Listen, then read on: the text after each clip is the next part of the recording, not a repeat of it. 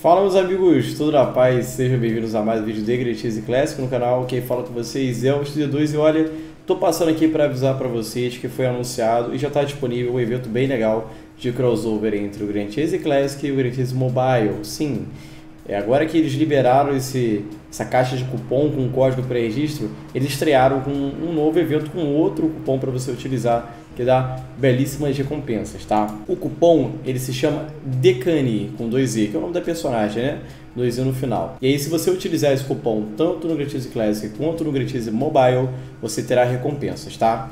No Mobile, você vai receber é, uma mini mascote da Caseage, você vai receber um emote da Decani e vai receber 10 invocações reais.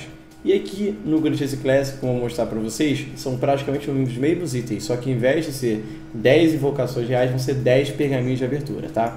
Então, para quem não sabe, você vem até aqui nas configurações, aqui no menu, né, na verdade, né, embaixo da configuração aqui da opção, tem a caixa de cupom, você vem e escreve DCANE. Toma cuidado para não ter espaço, isso pode atrapalhar você estar tá colocando seu cupom. E assim que você clicar em registrar, pronto, o item do cupom foi resgatado com sucesso.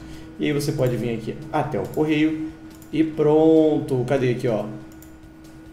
As três recompensas, cara, muito legal. Uma maneira de ter esse crossover, né? Eu achei que poderia ser um pouco complicado de fazerem isso, porque, como vocês sabem, a Decane ela está sendo lançada agora no release coreano, né? O mobile coreano e não no global. E o global tá vindo ainda a Velimage, né? Então, tipo assim, poderia ter algum probleminha, mas que bom que não é o caso, né?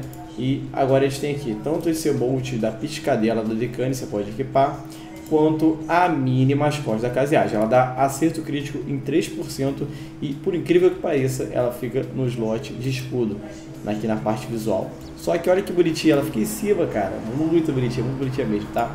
Então não deixe de aproveitar para quem quiser, né? Saiba que esse evento ele vai estar disponível até o dia 8 de fevereiro, antes do jogo atualizar, porque o jogo deve atualizar ali lá para as 3 da, manhã, da madruga, então até 2 e pouco ali da manhã do dia 8 né, de fevereiro você consegue resgatar. Não perca essa oportunidade, tá bom?